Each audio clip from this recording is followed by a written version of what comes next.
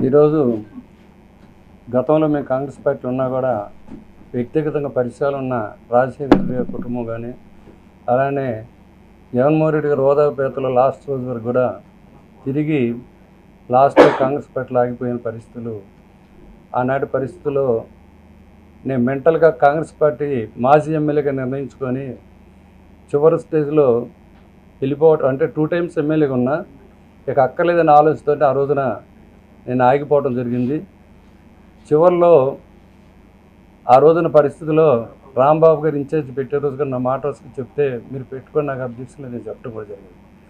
తర్వాత లాస్ట్లో ఎలక్షన్లో అయిపోయిన తర్వాత కొన్ని పరిస్థితుల్లో లాస్ట్ మినిట్లో నన్ను ఎవరు టచ్ లేదని కొంతమంది పబ్లిక్ మరి కార్యకర్తలు మీకు మంచి పేరు ఉందని అది ఇదంటే చెప్పే విధానం ఎలా ఉందని మనకి ఎన్నో అనే ఆలోచన విధానంతో కాంగ్రెస్లో పోటీ చేయడం జరిగింది.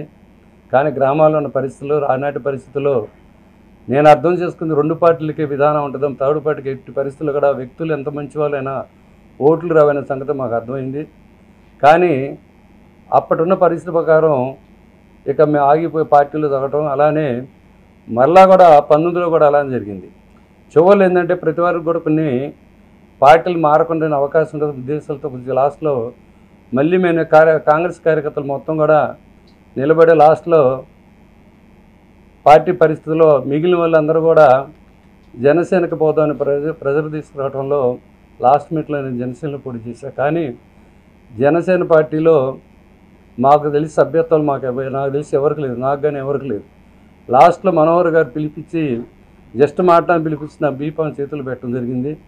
ఆ దాటి పరిస్థితి ఉంది? కానీ ఈ రోజు వరకు కూడా జనసేన వారు పార్టీ వారు నేను నాలుగు సంవత్సరాలు అయినా కూడా ఎవరిని ఎప్పుడు నన్ను టచ్ చేయాల? అలానే సత్తెనపల్లి మధ్య మీటింగ్ పెట్టినప్పుడు కూడా మాట వరుసకైనా నాకు చెప్పాలి. అంటే నేను పార్టీలోకి వెళ్తానా లేదా తర్వాత వాళ్ళ కార్యక్రమం పార్టిసిపేట్ చేస్తానా లేదు తర్వాత విషయం ఏ రోజు కూడా వాళ్ళ పార్టీ నుంచి నన్ను టచ్ చేయాల.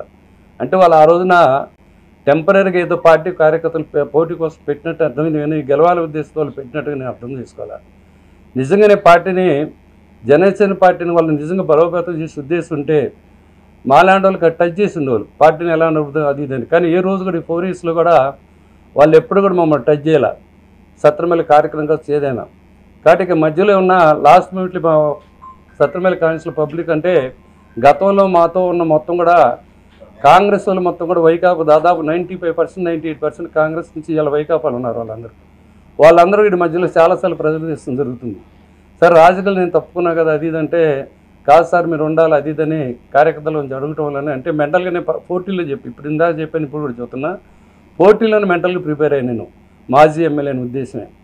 కాబట్టి ఇంకా ఆ పరిస్థితులు మనం ఎందుకంటే ఈ మధ్య కొంతమంది మాకు సంబంధించిన వ్యక్తులు మొత్తం కూడా వైకాపాలు ఉండి మీరు అట్లా ఉంటాం కరెక్ట్ కదని టచ్ చేయడం ఈ మధ్యలో మరి వైకాపాలో మీరు ఉంటే బాగుంటుందని మరి అందరూ ప్రజలు తీసుకురావడంలో రాంబాబు గారు కానీ సుబ్బారెడ్డి గారు కానీ ఈ మధ్య కలిసిన సందర్భంలో మరి పార్టీలో చేరుతుంటే నేను రెడీ అని చెప్పడం జరిగింది. దాని మీద ఈ రోజున పార్టీలో రాంబాబు గారు కానీ సుబ్బారెడ్డి గారు కానీ సీఎం గారి దగ్గర ఈ రోజున మా అందరం కూడా వైకాపా సభ్యత్వం తీసుకుంది మరి కండువా కలుపుకొని పార్టీలో ప్ర- ప్రవేశం జరిగింది. ఎందుకంటే గత కాంగ్రెస్లో ఉన్న వాళ్ళు మొత్తం కూడా వైకాపాలు అంటే పూర్వం నుంచి కాంగ్రెస్ ఉన్న వాళ్ళు మొత్తం కూడా వైకాపాలు ఉన్నారు కాబట్టి దాంట్లో పాత వాళ్ళు మా అందరూ కూడా నిజంగా ఈ రోజున వైకాపాలో ఉన్న మొత్తం కూడా నిన్న నుంచి చాలా వాళ్ళందరూ కూడా నాకు మెసేజ్లు పంపుతూ ఉన్నారు.